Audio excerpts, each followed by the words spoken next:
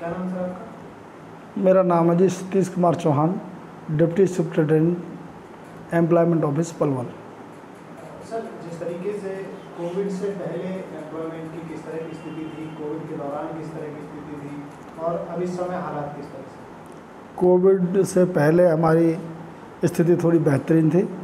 Covid के बाद थोड़ा डाउन हुआ क्योंकि कोविड में लोगों का आवागमन कम था बच्चे भी कम आते जाते थे लेकिन फिर भी हमने कोविड में भी बच्चों को लगाया। अब स्थिति बेह बेहतरीन है। अब हमने हज़ारों बच्चों को रोज़गार दे रखा है। कम से कम हर साल हम दस करोड़ ए हर महीने दे दस करोड़ तक के तकरीबन हम पैसे दे देते हैं बच्चों को। सर देखने में आया कि लगभग कितने लोग रोज़ाना रजिस्ट्रेशन करवाते हैं? हमारी जो पूरे ज़िले की कैपेसिटी है रोज़ाना की कम से कम पचास लोग रोज़ाना हम अप्रूव कर देते हैं रजिस्ट्रेशन को। हमारे पास 80 से 90 तक फार्म डेली आते हैं। जिनमें जो गलतियाँ होती हैं उसको हम बैक कर देते हैं फिर वापस हमारे पास आ जाते हैं। यह कम से कम हमारा एक हज़ार पर मंथ का टारगेट टारगेट क्या आ ही जाते हैं एक हज़ार जो हम रजिस्ट्रेशन करते हैं बच्चों का। किस तरह के परफॉर्मा किस तरह का रहता है? हमारा जो परफॉर्मा है मैनुअल तो ख़त्म हो चुका है। सारा कुछ ऑनलाइन है। ऑनलाइन हमारा डाटा है बच्चे ऑनलाइन रजिस्ट्रेशन करते हैं। जैसे ही उसमें कोई कमी होती है तो हम उसको वापस कर देते हैं। अब सरकार ने ऑनलाइन जो सिस्टम जब से चलाया रिजेक्ट नहीं होता किसी बच्चे का फार्म। उसमें गलतियाँ हो सकती हैं उसको हम गलती के कारण वापस कर देते हैं। फिर बैक वो लड़के उसको करप्शन उसमें जो कमियाँ होती है सही करके वापस हमारे पास कर देते हैं। डॉक्यूमेंटेशन किस तरह की होती डॉक्यूमेंटेशन जैसे जिसकी क्वालिफिकेशन उसको हम अपलोड कराते हैं। सिस्टम के अंदर वो हमारे पास आ जाता है। उसके बाद उसको वेरीफाई कर देते हैं। बात करें रोज़गार की तो इस दौरान कितने लोगों को अब तक रोज़गार मिल चुका है? जहाँ तक रोज़गार की स्थिति है वैसे तो सरकार ने अलग अलग बोर्ड बना रखे हैं। स्टाफ सिलेक्शन कमीशन बना रखा है। कई बार टीचरों की भर्ती होती है तो डिपार्टमेंट को पावर दे देते हैं। और जो ग्रुप डी की भर्तियाँ हुई थी उसमें ग्रुप डी के अलग बोर्ड बना दिया था क्लास फोर्थ का। एम्प्लॉयमेंट एक्सचेंज में वैकेंसियाँ थोड़ी कमी आती हैं लेकिन हम प्राइवेट सेक्टर में अपनी पूरी कोशिश करते हैं बच्चों को लगाने की। जो प्राइवेट सेक्टर में जो कंपनियाँ हैं हमारे अंडर उनमें हम दौरा करते हैं। बच्चों को ज़्यादा ज़्यादा उनमें लगाने की कोशिश हमारी रहती है। जॉब फेयर का भी आयोजन जॉब फेयर हमारा ऑनलाइन जॉब फेयर है।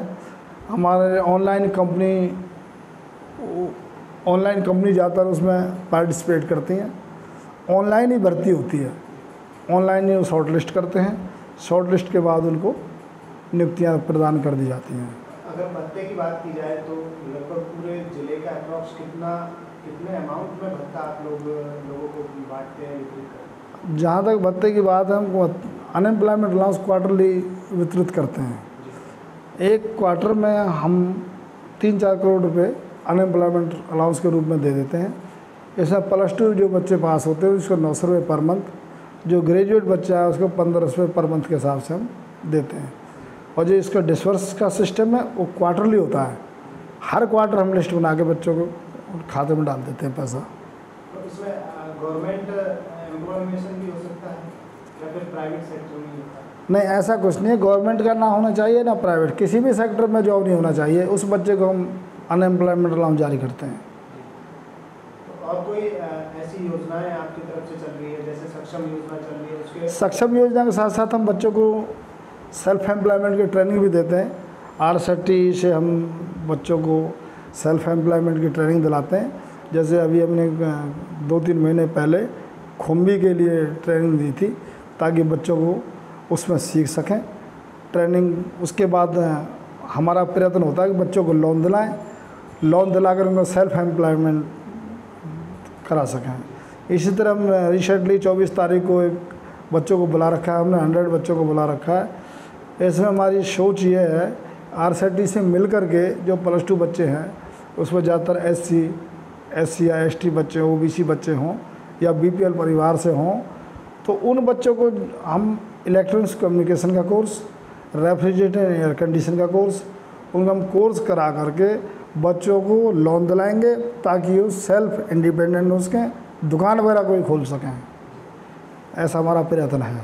कोई मैसेज देना चाहेंगे लोगों हमारा मैसेज तो यही है भाई ज़्यादा से ज़्यादा बच्चे अपना नाम दर्ज एम्प्लॉयमेंट एक्शन से एक्सचेंज में कराएँ और हमारी एक सक्षम योजना है लड़कियों के लिए बहुत बेहतरीन योजना है। इसमें जो लड़कियाँ 21 से 35 साल की जिनकी उम्र है और हरियाणा सरकार से हरियाणा दिल्ली और चंडीगढ़ से जिन्होंने क्वालिफिकेशन की है उनके लिए बहुत अच्छी योजना है लड़कियों के लिए। वो अपना रजिस्ट्रेशन कराएँ और सक्षम योजना में अपना नाम दर्ज कर, कराने के बाद हम उनको डिप्लॉयड कराएँगे। किसी भी गवर्नमेंट सेक्टर में प्राइवेट में कोई नहीं। और सौ घंटे का वर्क हम देते हैं हर महीने। चार घंटे रोज़ाना रोज़ाना देना होता है बच्चे से काम लेते हैं। और चार घंटे के बदले उनको हम हर घंटे के साठ रुपये के हिसाब से देते हैं बच्चों को। और भिन्न भिन्न ऑफिसों में भेजते हैं। केवल गवर्नमेंट ऑफ़िस में हम भेजते हैं। रजिस्ट्रेशन का प्रोसेस आपके यहाँ ऑफ़िस में है या फिर किसी भी सीएससी सेंटर से रजिस्ट्रेशन का प्रोसेस बड़ा आसान है। ये कोई ज़रूरी नहीं है बच्चे सी एस सी जाए या हमारे पास आएँ उनके पास आजकल तो स्मार्टफ़ोन है सभी के पास। वो अपना हमारे एक साइट है H R X dot G O V dot in पर रजिस्टर कर सकते हैं अपने आप को। क्या नाम सर आपका? मेरा नाम है जी Satish Kumar Chauhan deputy superintendent employment office Palwal. Sir जिस तरीके से कोविड से पहले एम्प्लॉयमेंट की किस तरह की स्थिति थी कोविड के दौरान किस तरह की स्थिति थी और अब इस समय हालात किस तरह से? कोविड से पहले हमारी स्थिति थोड़ी बेहतरीन थी। कोविड के बाद थोड़ा डाउन हुआ क्योंकि कोविड में लोगों का आवागमन कम था, बच्चे भी कम आते जाते थे, लेकिन फिर भी हमने कोविड में भी बच्चों को लगाया। अब स्थिति बेहतरीन है। अब हमने हज़ारों बच्चों को रोज़गार दे रखा है। कम से कम हर साल हम दस करोड़, ए, हर महीने दे दस करोड़ तक के तकरीबन हम पैसे दे देते हैं बच्चों को।